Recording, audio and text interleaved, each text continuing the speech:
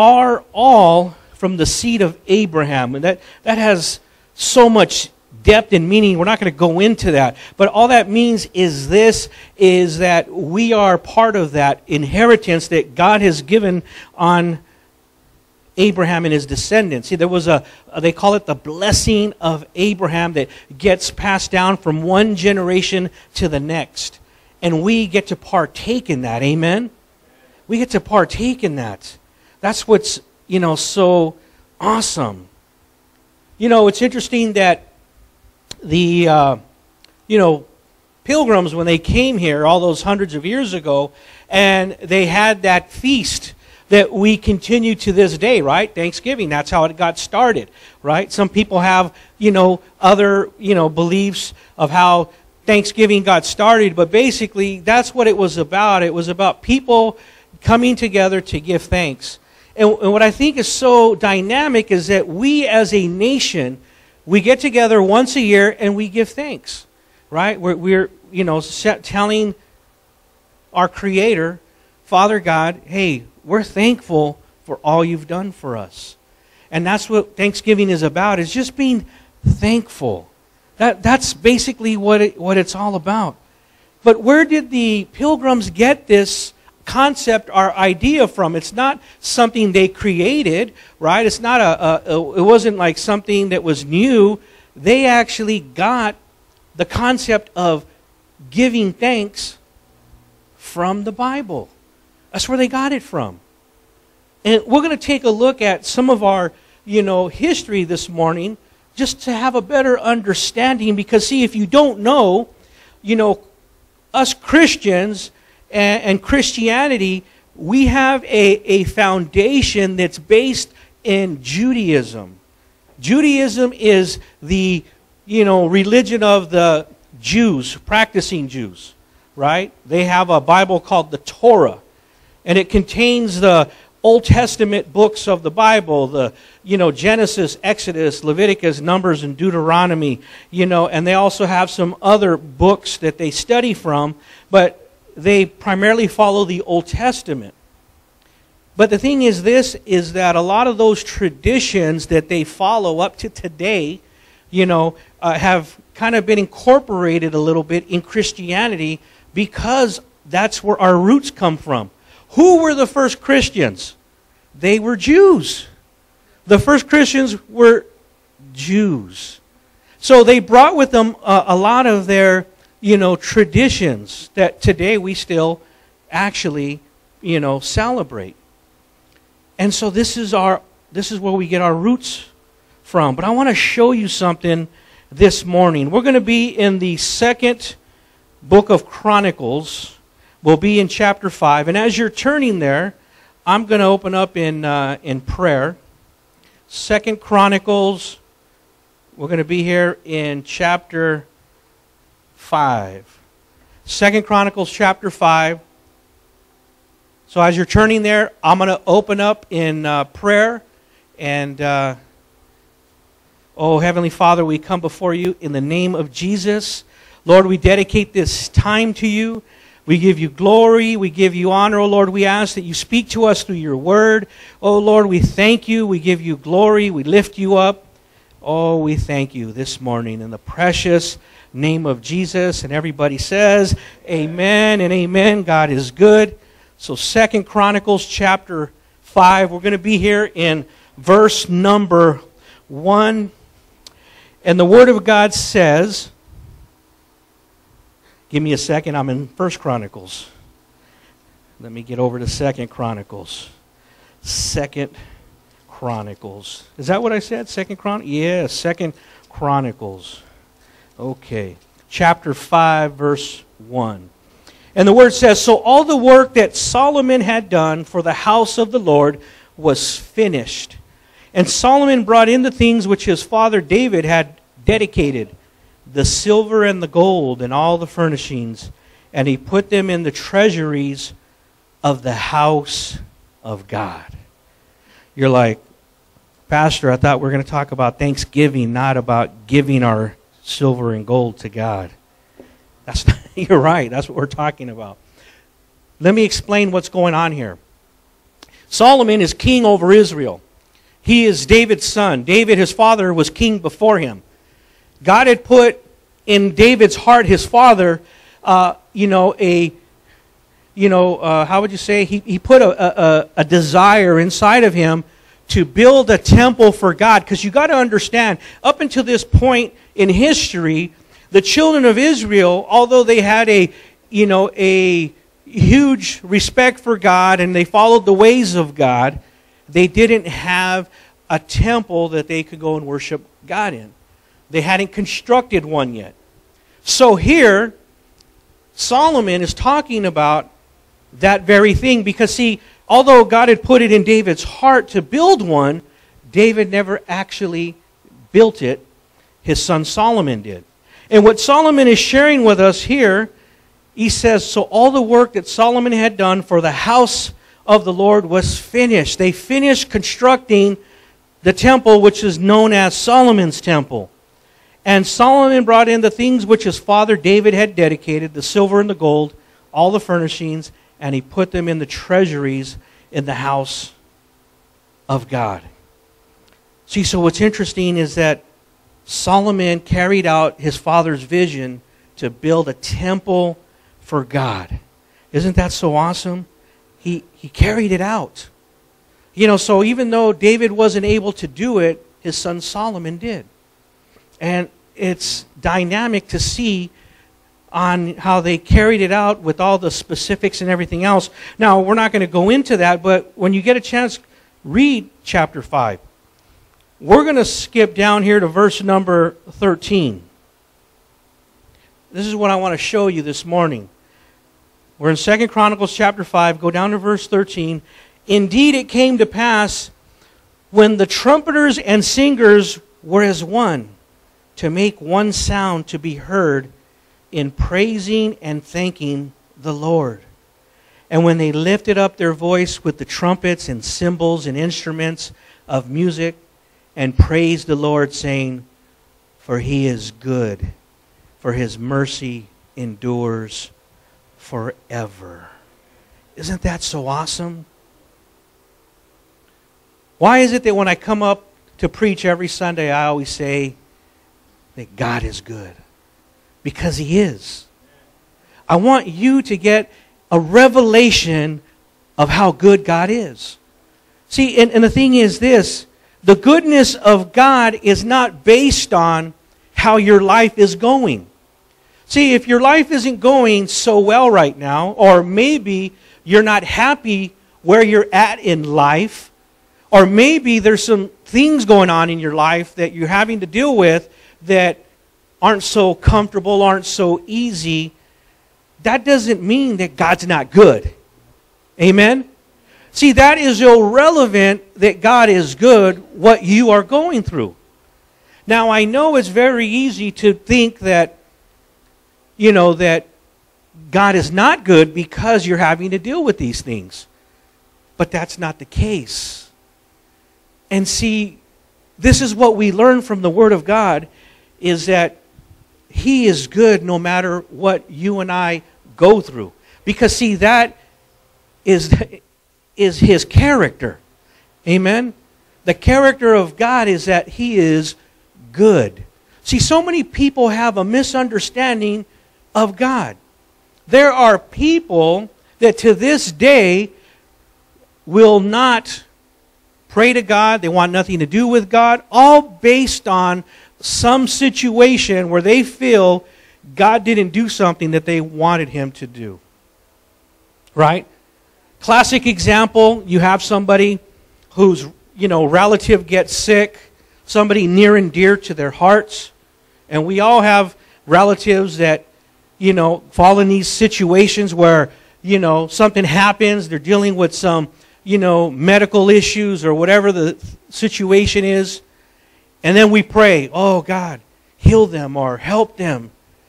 And then they end up dying. And then we're like, well, what happened? Was my prayer not filled with enough faith? Did God not hear my, my prayer? Right? And you start to question what happened.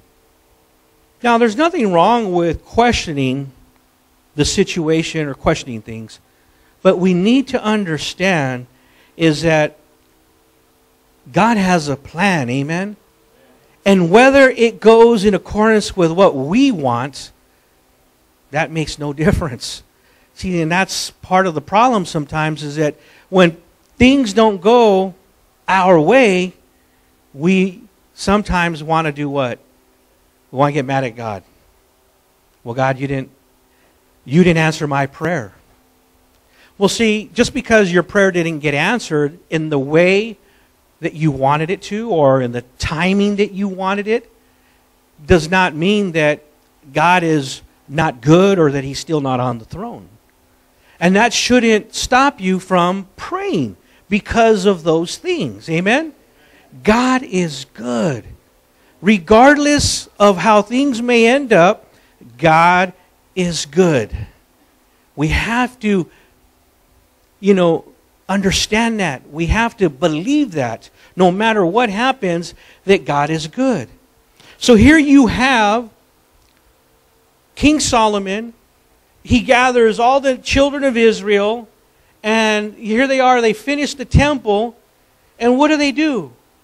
They start to sing with their instruments, right, and their voices, praising and thanking the Lord. They lifted their voice, right, and they praised the Lord, saying, He's good. His mercy endures forever. Now, this isn't the only time in the Bible they do that, but I, I'm using this just as a reference to show you that this is a pattern that we need to follow at all times of thanking God. Now, we talked about that Thursday is Thanksgiving, and we as a nation come together and we celebrate, you know, Thanksgiving, and, you know, we collectively thank God for all He's done, all He's doing as a nation. But we talked about this last week. You and I, as a Christian, as a believer, this is something that we do on a daily basis. Amen? It, it, it's a, a lifestyle, right? constantly praising and thanking God, singing to Him, right? Singing to God is what we should be doing on a regular basis. Because why? Because He's good. And His mercy endures forever. See, when you start to focus on His goodness and you start to focus, you know, on all those great attributes of God, the things that aren't right in your life, they start to get smaller. They start to get smaller. See, I was sharing this with a few people this morning, like uh, Nicoletta and Phil and Brother Kenny here. You know, they hadn't seen me since I've lost my eye, so I had to bring them up to speed. Right? But I had to remind them and say, I choose to focus on my left eye. So you can call me Lefty now. I choose to be thankful for my left eye because it's good. I see with it. I just shared with you, I think last week or a few weeks ago, how I had to uh, renew my driver's license. The uh, annual, or you know, it's every five years, you get the letter in the mail, and, and this time it said, you cannot do it online this time. You got to come in and see us take a vision test. So I was equipped, had my letter from the doctor, went in, and uh, uh, I ended up having to take this uh, driving test, and I passed it with flying colors. So when you go to the DMV, you'll see my picture on the wall. No, I'm just kidding. I'm just kidding. I passed. I passed it. Why? Because just because I don't have two eyes don't mean I can't drive. Amen? See, we can't let those challenges in our life stop us. You know, I get encouraged when I see people who don't have arms or legs and they're out there running marathons. Right? And here we are, you know, we can walk and dress ourselves. And there's people out there that will go out there and do the impossible just to prove to themselves that doesn't matter what they're dealing with, they're not going to let anything stop them.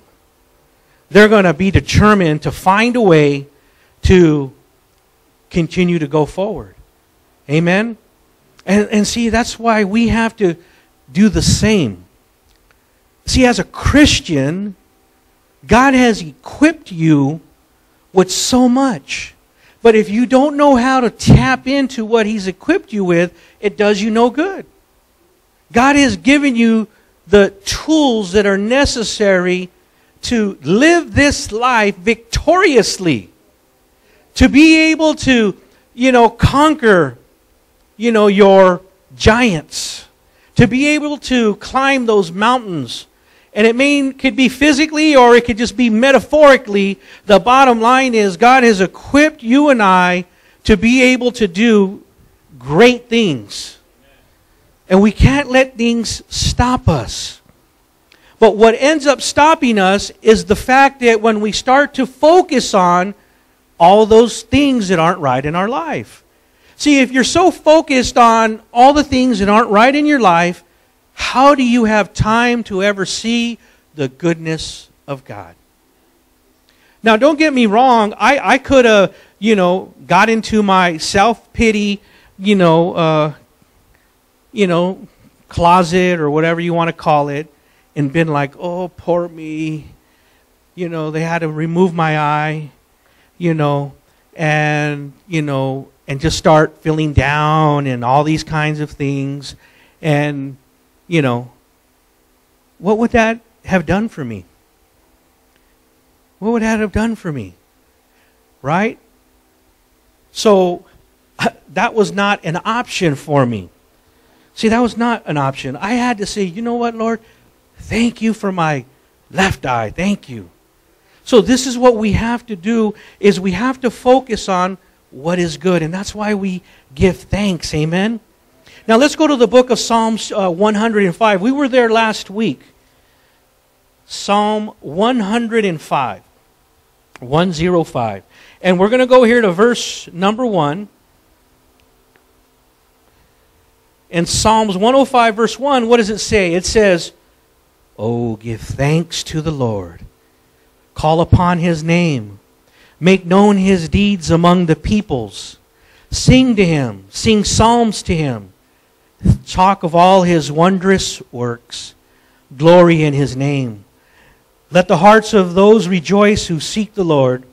Seek the Lord in his strength, seek, seek his face evermore. Remember his marvelous works which he has done, his wonders and the judgment of his mouth. See, once again, we're being reminded to give thanks. We need to learn how to give thanks. Now, have you ever stopped to think that when we leave planet Earth and we go to heaven, what is heaven going to be like? Have any of you ever thought about that? I, I have. Right? I have. Did you know the Bible talks about what we're going to be doing in heaven? Yeah, it says we're going to be flying around. No, I'm just kidding. That's what the angels do. See, there's a, there's a distinct difference between angelic beings and human beings. We are not angels. And I hate to burst some bubbles here, but I, I have to give you truth. You know, a lot of people, they think when a loved one dies that they're now your heavenly angel. You know, grandma or grandpa or uncle or auntie, they're my angel now. Well, it's okay if you want to believe that. I can't force you to believe anything, but the Bible says that the angels were created for you and I. The angels were created for you and I. The Bible says they are ministering spirits. They were created to work on our behalf. The Bible also says that one day we are going to rule and reign with God over the angels. Amen. So angels were created to work on our behalf, and we will rule and reign over them. Right? God has enough angels. Okay? Now, in the book of Revelations, the Bible tells us what is going to be taking place in heaven. Right? Let me just take you there real quick. Let's go to Revelations chapter 4. You know that book that you're afraid to go and read? Right? Especially at nighttime before you go to sleep. Don't read Revelations before you go to sleep. You're going to have a nightmare. You don't have to be afraid to read this book. God has promises for the believers. Revelations chapter 4, look at verse 8 says. Revelations chapter 4, verse 8. The four living creatures, each having six wings, were full of eyes around and within, and they do not rest day or night. Now, just to throw some information out there for you, there are some different schools of thought regarding the four living creatures. I just want to establish that, right? Theologians are not in 100% agreement of who the four creatures are, right? One school of thought, the four creatures represent the four corners of the earth and represent all living things, right? That's one school of thought. That the four creatures represent the four corners of the earth, represent living things. Another school of thought is that the four creatures are actually some type of angelic being, right? You see how it says they had wings, right? Eyes, these kinds of things, right? But the point being is this, right? You do your research and you come to your own conclusions, but I want to focus on this. This is the point I want to show you. So it says that they do not rest day or night, saying, Holy, holy, holy, Lord God Almighty, who was and is and is to come. So what do they do? They don't rest day or night, saying, Holy, holy, holy, Lord God Almighty, who was and is and is to come. They are praising God day and night without rest gives you an idea what's going to be happening in heaven. We are going to be praising God as well. How could we not praise God when you're in His presence? Right? And so I just wanted to give you that little glimpse because we need to learn how to praise God. We need to learn how to be a people of thanksgiving and praise because that's part of what we're going to be doing in heaven. Amen? Psalm 105 tells us, Give thanks, call upon his name, and make known his deeds among the people. Sing to him, sing psalms to him, talk of all his wondrous works. So our lives need to reflect thanksgiving. So it's one thing to sit at the dinner table on Thursday and say, let's pray and let's give thanks. And that's good. We need to do that. We need to be thankful. Why? That's why we pray when we eat, to take sickness and disease from the midst of us and also to thank God for his provision and meeting our needs. That's why we pray. But let's take this a step further. How can I show God that I am thankful for all he's done? How can I how can I reflect that to God? See, praying is just not enough. Our lives have to reflect how thankful we are. Amen? Our lives have to reflect that. Let's go to the book of Matthew, chapter 5. Matthew, chapter 5. Oh, thank you, Lord. Thank you, Lord. So we're going to Matthew chapter 5. We're going to go here to verse number 16. Jesus said, Let your light so shine before men that they may see your good works and glorify your Father in heaven.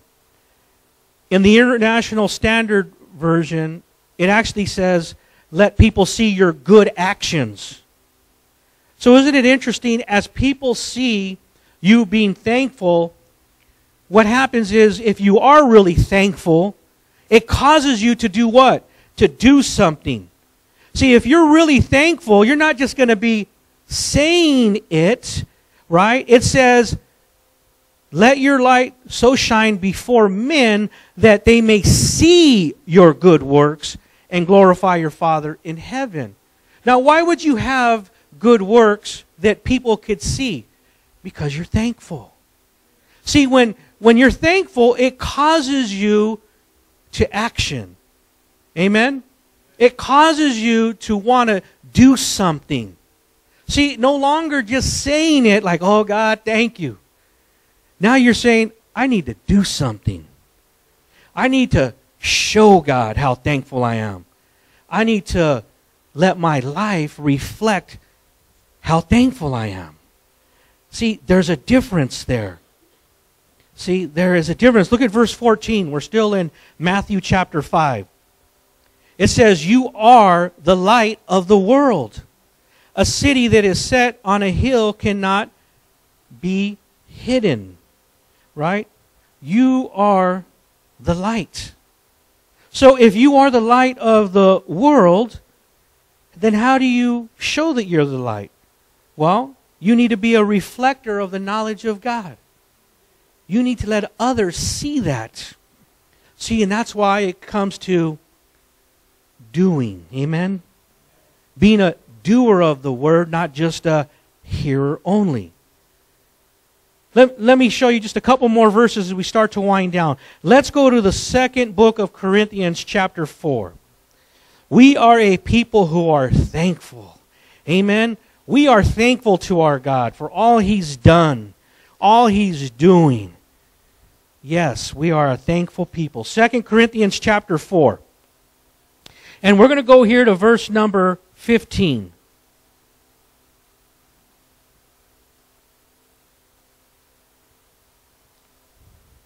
2 Corinthians 4:15. The word says for all things are for your sakes that grace having spread through the many may cause thanksgiving to abound to the glory of God. See what the apostle Paul is saying right here is this. See, he's saying, hey, he endured suffering so that God's grace would reach many people who would give thanks to the glory of God. See, this was the, what the Apostle Paul is saying. Let's go to chapter 5, verse 15. We're still in 2 Corinthians. Now we're going to chapter 5, verse 15. Look at this. And he died for all, that those who live should live no longer for themselves, but for him who died for them and rose again. Oh, I got to I got to say that again. And he died for all that those who live should live no longer for themselves, but for him who died for them and rose again. So, in other words, the Apostle Paul is taking it one step further here, and he's saying, hey, don't live for yourselves any longer. Live for Him. Live for Him. How do you live for Him? Well, it becomes lifestyle. That sounds like a name of a car club, don't it? Lifestyle. lifestyle. It's what we do on a daily basis. Amen? It's not only saying how thankful we are to God, oh Lord, we thank you for being so good to us. But now we start to show it in our actions. Right? We start to show it in our actions. Right? You know, why is it that we have to sometimes discipline our children. Why is it why isn't it that we can we can't just tell them don't do that no more? Or you know, just give them some instruction verbally. Why is that not enough? Cuz see, sometimes we can say it so much that what ends up happening is that it doesn't really have an effect. How many times do we hear parents say, you know, you know, don't do that, you know, or you're going to be in trouble, or don't, don't, you know, don't make me get up, or, and they're saying it over and over again, repeating themselves. That's an empty threat, is what it basically is, right? That's something we should learn in parenting. Don't give empty threats. You say it once, and then don't say it again. I'm guilty of it. I used to give those empty threats. Don't make me get up. Say it about 10 times. Don't make me get up. And they're up probably just laughing at me. He ain't going to do nothing. but when I finally get up, uh oh, he's up. Now that sends a message. So the reason why we have to carry out sometimes an, an action when we're disciplining our children is because we have to show them now that, hey, that it's necessary that they learn, you know, what we're trying to teach them. Right? See, so actions are very important. That is why when we talk about love, that love is not simply a feeling. Oh, I love you. Love is an action. God showed us that by what? By giving all. See, God ha- has told us that He loves us, but He also showed it to us in action by going to the cross, giving of himself, giving all. He showed us in action. So, how do we return, you know, that to him? Well, Paul tells us here that we should no longer live for ourselves, but live for him who died for us and rose again. Lifestyle right? We got to be a people who reflect thanksgiving and how we live. Amen? And, and, so, what I'm trying to emphasize this morning is, is that, you know, as we get ready to celebrate Thanksgiving on Thursday, you know, with all those turkeys and hams and tamales and whatever your tradition is. I know everyone's have has different traditions and you know your whatever side dishes you have, that great meal.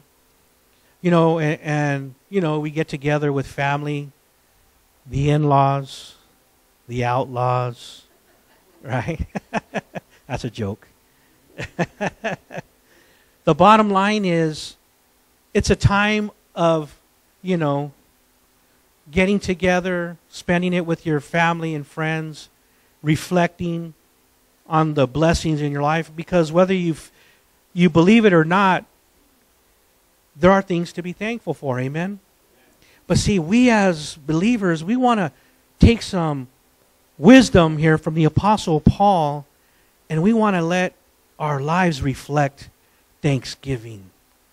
Because when we let our light or excuse me, our life reflect thanksgiving, what ends up happening? Paul told us here in 2 Corinthians 4:15. He says it. He said, "For all things are for your sakes, that grace, having spread through the many, may cause thanksgiving to abound to the glory of God." Amen. See, what ends up happening is that when other people start to see us reflect our thanksgiving towards God, and even though they know that, hey, man, they're, they're going through some things, but yet, man, they still don't stop praising their Jesus.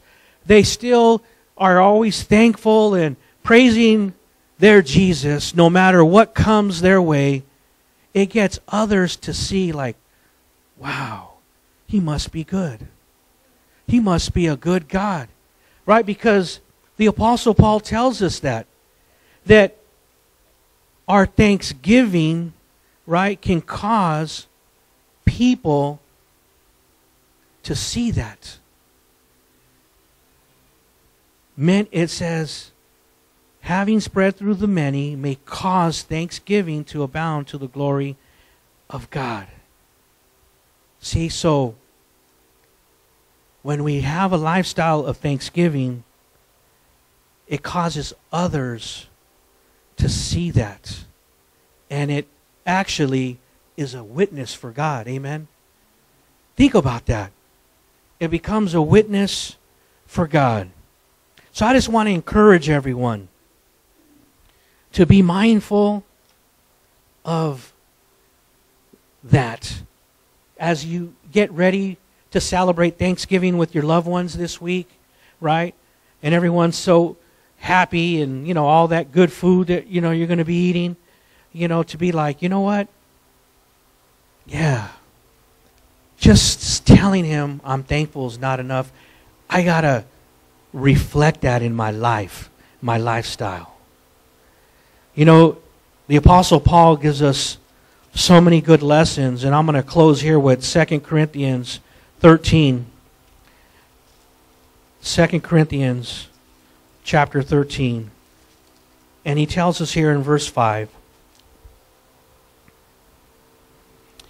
he says, Examine yourself as to whether you are in the faith.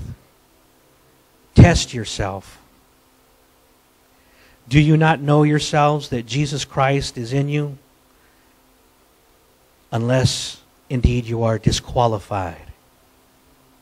You are qualified. That cross makes you qualified. You made the final cut. You made the team. Right? You know, in life at times we sometimes feel like we're not included in certain situations. Anybody ever remember being a kid on the playground and they're picking teams? And they're like, I hope I get picked. I hope I'm not the last one. Well, guess what? God loves you so much that he said, "You know what? I'm going to I'm going to pick you. I'm going to choose you. You're qualified.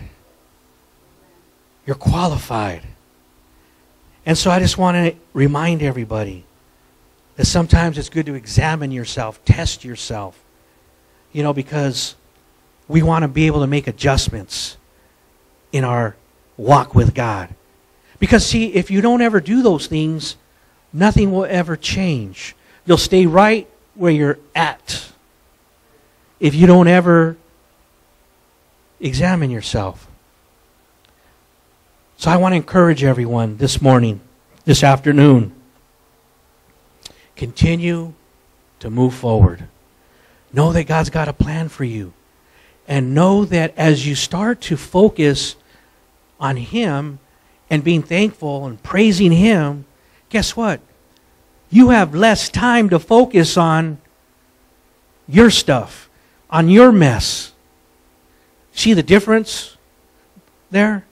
You have less time and energy to focus on what's not right in your life when you're focusing on Him. And something dynamic starts to happen.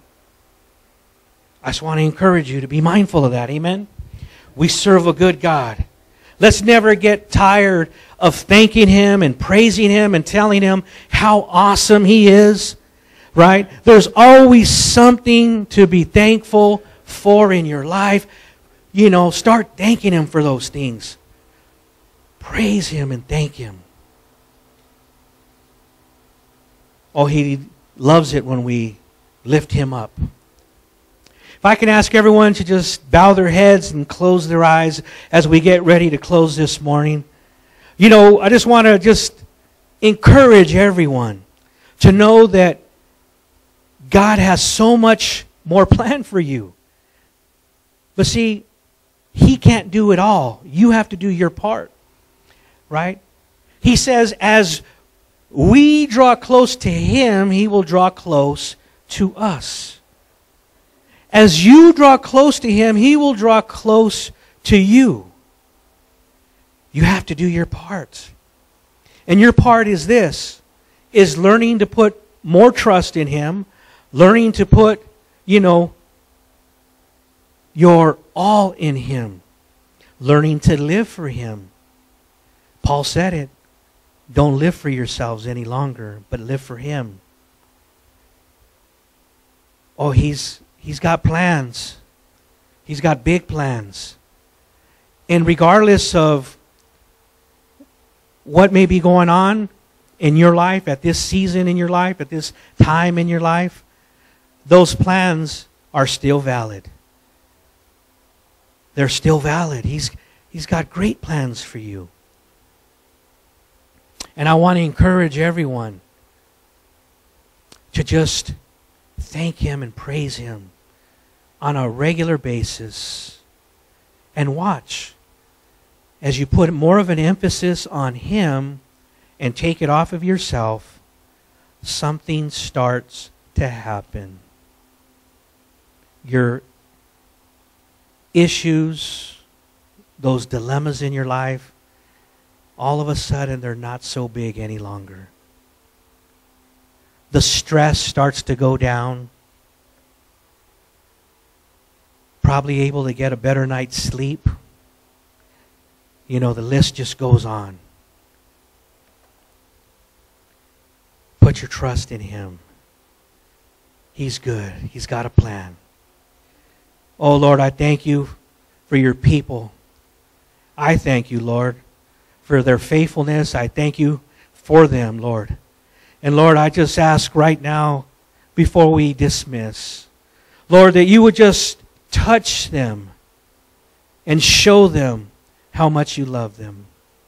Father, we know that regardless of what may be going on in our life, your goodness never stops. So, Lord, I, I pray for your people that they see your goodness in ways they've not seen before. Lord, that you would show them how good you are because your mercy endureth forever. Oh, Lord, I thank you for your people. And I pray, Lord, that you would continue to just show them and guide them of how much they mean to you. Continue to encourage them. Oh, Lord, we give you glory and honor. And Lord, I thank you that no weapon formed against them shall prosper. Your angels have charge over them. That their needs are met, Lord. That they have an abundance for every good work. Oh, Lord, I thank you and I praise you for your people. Oh, we give you glory and we give you honor in the precious name of Jesus. And everyone says, Amen and amen.